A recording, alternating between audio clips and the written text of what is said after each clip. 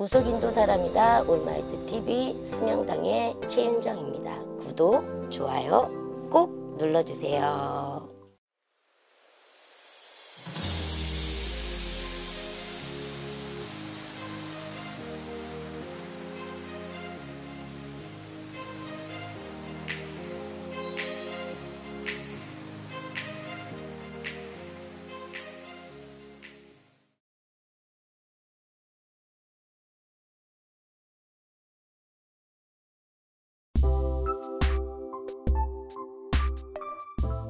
그렇지 남녀노소 누구나 할 거 없이 죽음은 꼭 한 번은 맞이하는 거야.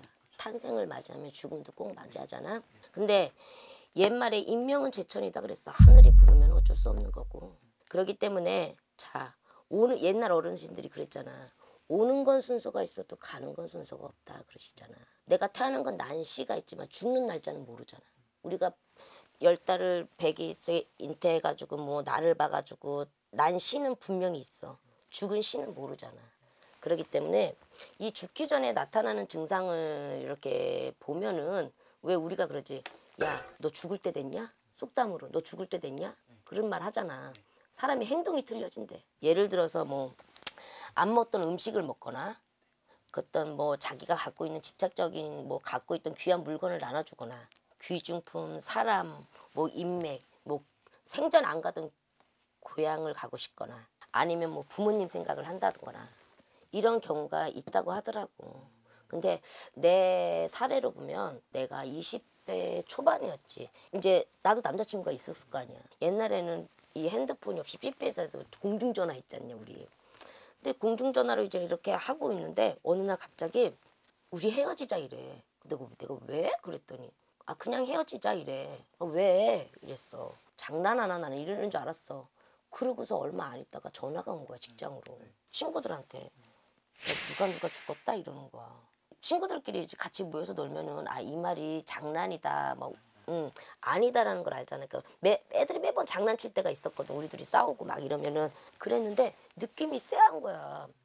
그래가지고 내가 이제 친구 어머님한테 전화했어. 엄마 이 저 저인데 했더니 오토바이 타고 가다가 경찰이 쫓아오니까는 터널을 터널을 가다가 진짜 죽은 거야 둘이.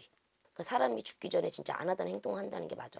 그리고 그때 그때 그 친구가 이제 우리가 이게 장례식장에 이렇게 모였을 때 안 보던 친구들도 보고 또 안 보던 말도 하고 행동이 조금씩 틀려졌대. 그러니까 자기는 모르는데 무의식 중에. 그래서 안 하던 행동들을 조금 한다 그러더라고. 몇 개월 전서부터 아니면은 뭐 한 달 전서부터 이런 경우가 좀 있다고 하더라고.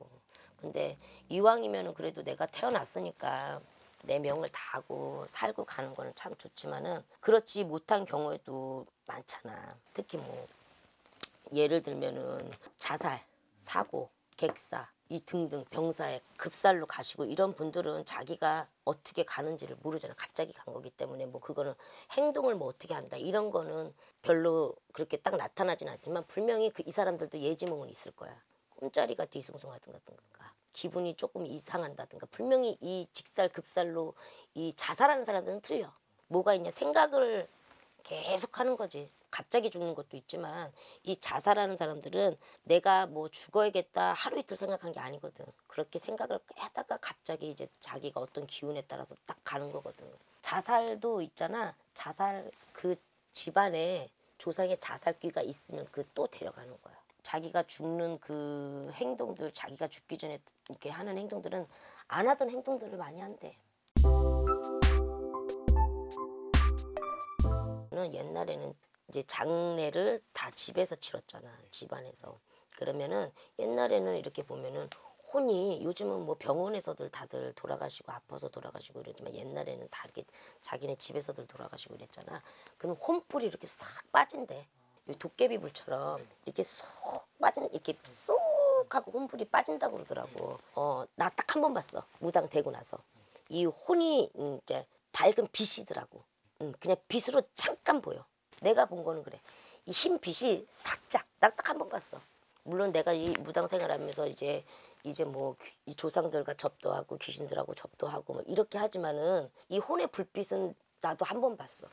그냥 잠깐. 그래서 옛날에 이렇게 지붕 너머로 휙 하고 혼불이 이렇게 혼불이 나간다 그러더라고. 그 그러면은 아 저 집에 누가 조상 누가 돌아가셨구나 드디어 아프다고 하니까 하고 그러더라고. 분명히 이제 점을 보러 왔을 때 그런 건 있어. 내가 아프긴 하고 아직은 내가 갈 명이 아닌데 자꾸 이런 게 보여요. 그럴 때는 얼른 무당집에 와가지고 내가 왜 이럴까요 하고 여쭤보고 하는 게 나아. 비방을 치는 게 나아. 대수대명은 그렇지. 응? 응? 내가 또 이 수명당 아니겠어?